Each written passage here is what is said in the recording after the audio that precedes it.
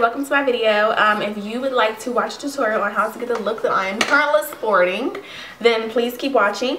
Um, you are going to see that there's a lot of talking from my little munchkin so sorry about that. Um, it was hard to get my words out because someone had a lot to talk about and she was pretty much throwing a tantrum at one point um, because she was tired of being in her seat so um, if you would like to see what I did to achieve this makeup look then please keep watching and I'll see you guys soon okay so the first thing that I do um, well I want to let you guys know like kind of like where I am in my process. So I've already put on my foundation and I've done my eyebrows. Um, if you guys want to see how I do my foundation and my eyebrows just comment below. Um, we do have little Gigi over here so if you hear noises then that's just her talking. Um, yeah. So um, i'm gonna have to rush through this because i don't want gia to get antsy and start crying. I'm going to give her some of her little favorite banana yogurt treats.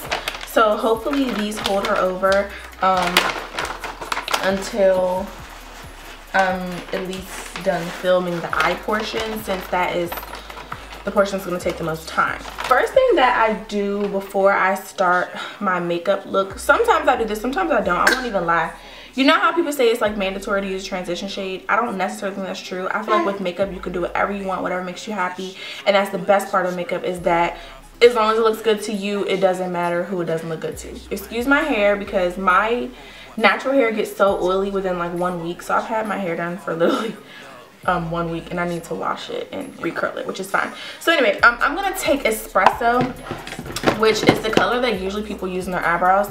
It's like just like a brown shade, a muted brown shade. So you don't have to use espresso, but if you just have any um oh my god me here um if you just have any brown uh eyeshadow that doesn't really have a it's like an ash tone um i will use that so i'm just going to take a little bit on like a blendy uh fluffy blending brush this is the e40 by sigma and I'm just going to use this to kind of like warm up my crease. I don't use a lot of it. I'm just using enough to kind of like warm it up and something that I think really helps when you're like doing this is to hold your brush at the back of it so that you're not putting too much product anywhere the closer to the tip that you hold your brush the harsher your line is going to be so when you do this you kind of just want to do like swift like you know swishy little motions and um, go back and forth. So I'm pretty much going to do this until I've deepened up the color um, to my liking. I'm going to go over top of this with something else so it doesn't need to be that prominent but I personally kind of like want to see I remember Gia what are you talking about so I personally like to see that little um gradientness whatever is that a word? Okay. So i'm just gonna keep on. I'm going really slowly adding adding adding adding adding. To me like this is looking kind of you know enough. It's it's not to the point where you can see it but you i mean not like it's not boom but it's like enough that like you can kind of see that little shape that i just created there um, and yeah, that's fine. So anyway, so after I do that, I'm going to put my little swilly brush away. Um, and I'm going to get a brush that has, it's a little bit less, um, what's that word I'm looking for? A little bit less fluffy. So I'm going to use the Morphe M441 brush. And this brush is like the tits. So I'm going to use this brush and I'm going to use NARS Galapagos. And that is this really pretty shade. And I already told you guys that if it's one shadow by NARS that I think you should buy, it's going to be this one. It's so popping. You can see the reflex. Like, it's so amazing. Um, I use this one for everything. I use it pretty much in every single makeup look since I got it. So this is like the best. And you don't really need anything. I'm literally just like tapping my brush in here. So um, what I'm going to do is I'm just going to add this to the outer portion of my eye. Yeah. So I'm just adding this to the outer portion.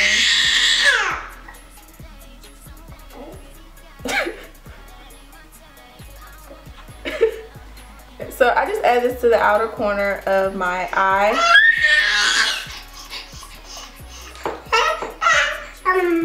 And the thing is that Gia is talking right now and she sounds like she's throwing a tantrum because she's talking.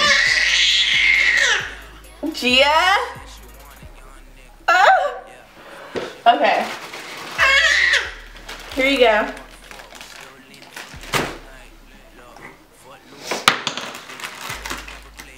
So I gave her something else to play with. Yeah. Okay, so funny fact, I didn't get dimples until I got fat. So now I have dimples. funny, right?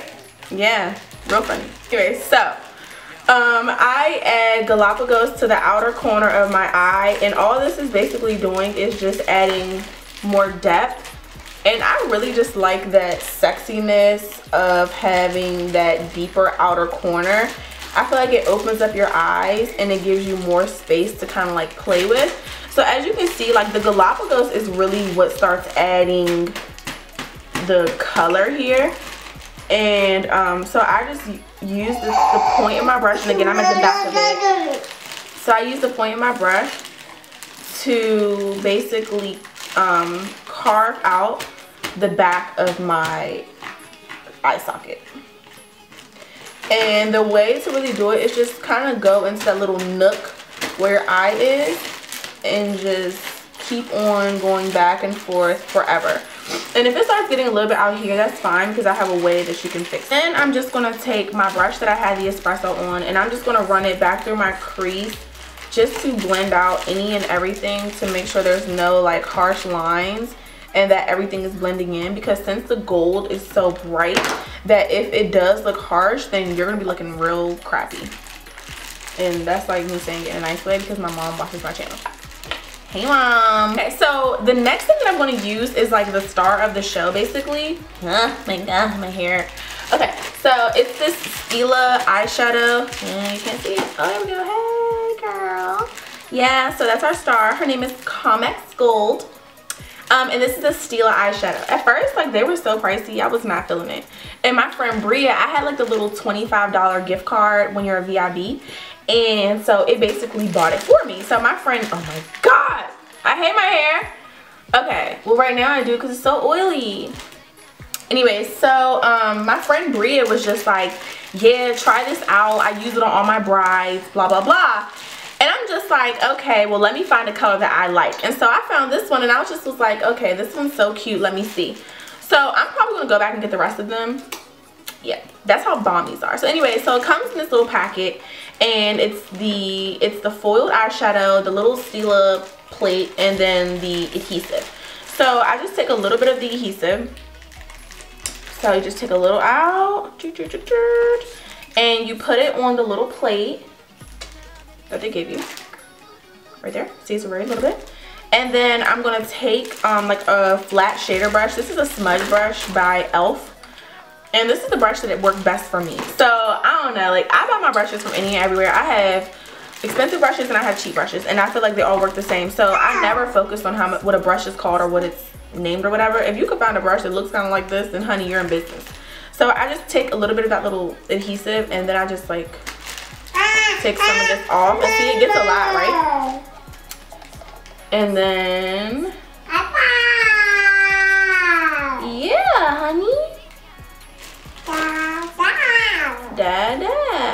And then I apply it onto my. Okay, from further experience, do not go, so don't go too real, real far up. Because this stuff gets a little crazy. And, oh my gosh. Okay, baby. And like,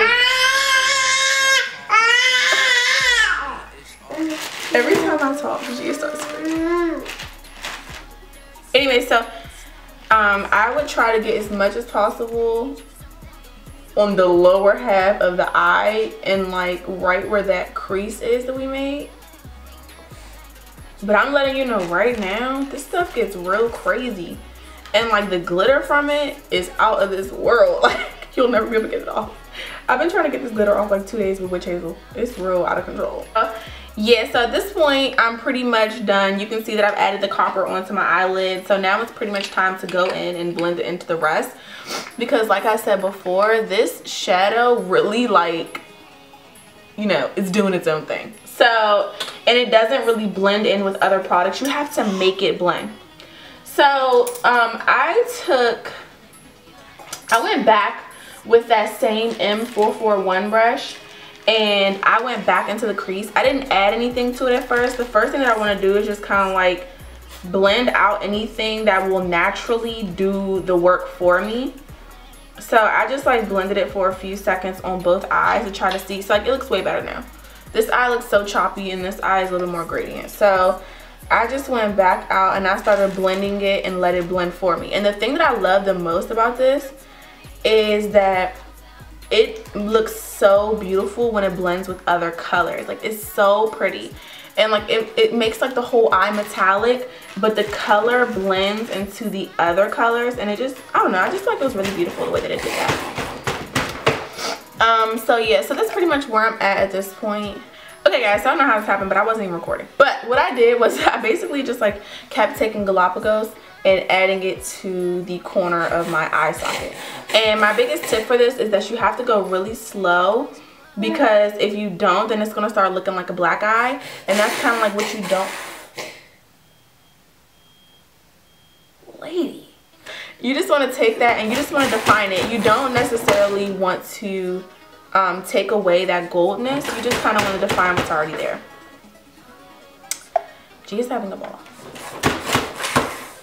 Okay.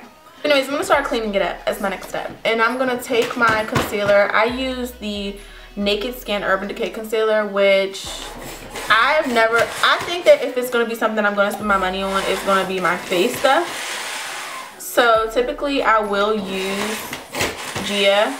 Gia. Gia. What's going on here, honey? she's like and we're both sick so it's kind of like disgusting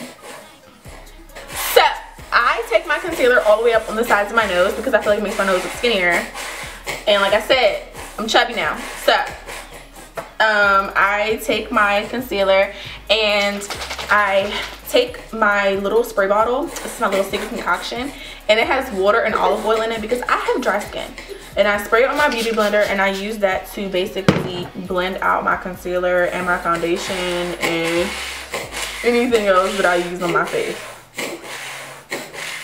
Actually have never seen anyone do the things that I do to put my foundation on because I have such dry skin and that's if anyone wants like a tutorial on how I do my foundation like an in-depth tutorial about how I do my foundation and my concealer and stuff let me know so after I'm done doing that, I usually always take a setting powder. And by usually always, I mean like all the time, no matter what. And the setting powder that I use is the Laura Mercier um, setting powder. I think that if you don't have this and you want to try it, do what I did. I bought the travel one and I've been using it for like the past, I don't even know how many months. And it's been lasting me. So I don't think that you should um, spend all your coins to buy that $50 one when you can just buy this little travel one and you'll be Gucci. So get the travel one and you'll love it and you'll be fine um for me like i said again i have really dry skin so i can't use this powder and like i i don't know i can't like put a lot of it on um so since i can't do that i really have to typically just rub it i mean like brush it along and then keep it moving because otherwise it'll make my skin really dry and then you know, I'll be peeling and everything else and I just can't. So anyway, so let's move on to my under eye. Um, so I'm going to take a pencil brush and I'm going to go back in with Galapagos, which like I said, is like the best eyeshadow ever. And I'm going to use this on my bottom eye. The biggest thing that I have to say is that when you're doing this, take a little, take a little bit of the Galapagos and connect it to yum um yum. It, um yum yum. And take it to the bottom of your eyeshadow so that it doesn't look like it's just some black line on the bottom of your eye on your eye. Kind of like connect it so for this one I kind of want to blend it a little bit more let me go back Actually, I don't like blending it. So what I'm going to do, so I'm going to take my beauty blender and I'm just going to pat it. Oh, great. And it works. let my beauty blender kind of like blend it out for me. And my gonna take my fluffy brush just a little bit and I'm gonna go at the top there. Because I think that I added a little too much color to my brush and then it transferred up there. Anyways. Okay, so I feel like I've been talking for like 45 minutes and it's really getting on my nerves. Anyway, so then I move on to my mascara. I didn't wear any lashes when I wore this, um, but I think that if you were to wear lashes, I would wear like the Demi Wispies. Okay, so at this point, it's time to move on to highlighting, highlighting our inner corner. So I'm just to take whatever little brush I can find. And I take my Becca Illuminator and Becca. And I broke this apart, so I can't even like lift it. Oh! Mama. Mama. My daughter is talking to me and I don't know about what. Yes, baby. Yes. At this point, it's looking pretty cute. Too cute. So, then I move on to contouring the face. And I'm just going to take... Um, I'm just going to take Sun Power. I think that G is asking me to give her a nap. And I'm going to right after this. okay, so then I just go like into that natural nook that I have in my face. And I'm going to carve that out. But I go right above it. So like I'm not going to go into it. I'm going to go right above that nook in my face. The reason why is because I want to basically... I don't want to create anything new on my face. I kind of just want to accentuate what's already there. So then I use the rest of it to kind of just go in my hairline. Because I hate when I can see people's like makeup and it's not like seamless, just is like there. I don't know. So anyway, so I take this right above and then I just keep on adding until it's dark enough that I like it. I do a different darkness. I do a different darkness every day. And then of course I hit my neck because because I have a double chin. And Gia just dropped my eyeshadows. I think she broke them all. And they're all back. None of them broke. Which I know how to get, put them back together anyway, but I would have been very upset. I'm not gonna lie. So anyways, back to what I was saying. I'm just going to go ahead and add color as I see fit. So at this point, it's pretty good for me. Like, I like the way it looks like that. So I'm going to go and I'm going to start highlighting. Now the first thing that I do when I'm highlighting is I'm going to use my highlighter first and I use the Becca Opal. The reason why I use that one first is because it's light. And I like my highlight to be light, um, but that's my own personal preference. So I take a little bit on the fan brush and then I'm just to hit the top of my cheeks. Right underneath my, my eyebrow. I mean, not my eyebrow. What's my eyeballs? so I'm to go right above there. My nose my cupid's bow, the middle of my forehead, and my chin. And I'm just gonna go ahead and add that to the natural curve of my face. That natural like line here, I'm just adding. So my main focus whenever I do my makeup is I'm never creating anything. I'm always adding to what's already there. I'm never creating anything, I'm adding. So then I'm going to take my Morphe B35, hit at my old um, J-Lo from the block, Gold Deposit and I'm going to basically use that as like a blush but I'm going to use it in the place where I used my highlighter and this is like the tits I put this everywhere like I put it on my chest I put it under my neck I put it where my highlighter is because I feel like something about gold deposit on brown people it just brings out the best in you. Where I don't put it is on my nose and my cupid's bone. everywhere else I highlighted because it's too much. Um, then I'll be looking like a freaking global disco ball. I'm going to go ahead. Now, this is my daughter is literally right here. And Gia is making a mess. So I'm going to take Hysterical, which is like my favorite blush ever. And as you can see, Gia just drew on it. Um, and I'm just going to apply this to the apples of my cheeks. I like blush, so I like to see my blush. So I only apply this to my apples. And I let that shine through. My next step to make my glow like poppin', poppin', poppin' is I take, I don't know what it is on Fix Plus, but it kind of like makes your glow pop out more and then it makes your makeup blend in. So I just take it and I hit it on the side, on everywhere my face that has glow and Yep, G, you get some too. Sorry. My makeup starts like blending together. Like it looks like it's just a face. and not like a face of makeup. So after I've done this part, I usually take my blend, my beauty blender and I push in whatever is there. And what this will do is not only does it push in my makeup, but it also takes off anything that's like excess.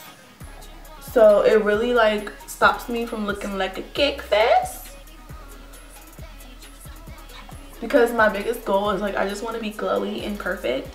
But like I don't want to be like, you know, too cakey. So then in the event like you ever go to my house and you guys are like, you know, you're like laying down or something on the bed and they have like white pillows and then you're like, mm, let me lay down. And then your face comes off on their pillow and it's just like The very last step to this look is going to be to wear your lipstick. I was wearing Ruby Woo with Ruby Woo liner. Right now I can't find my Ruby Woo. So I'm going to have to line my entire lips. So I'll be back when I'm done lining my entire lip. Okay everyone, so thank you for watching my tutorial. Um, if you have any requests or any looks that you'd like to see, just please comment below and let me know. I did mention in the video that um, if you want to see how I achieve like my foundation look or my um, highlighting and contouring, then let me know if you want to see like an end. Woo! Woo! in, in depth on how I do that. Yes, honey. Hello. Hi. Mom. Ah, okay, she's like jumping up and down. And it's just Yeah, hi. She's looking at herself and I think that she thinks she's another baby. And she's like, hey, hi, say hi to that little girl. She's so cute. She's so cute. So anyways, um, if you guys have any videos you'd like to see, then please feel free to comment. Thank you for watching my tutorial. Um, and I want to try to have at least two videos up a week. So I know last week I only did one, so this week is my goal to have two. And I hope that I have another one up by like Wednesday or Thursday. I'm going to come up with like a plan of my days that I would like to post. But for me, it's kind of hard because I have a baby and sometimes things don't go right.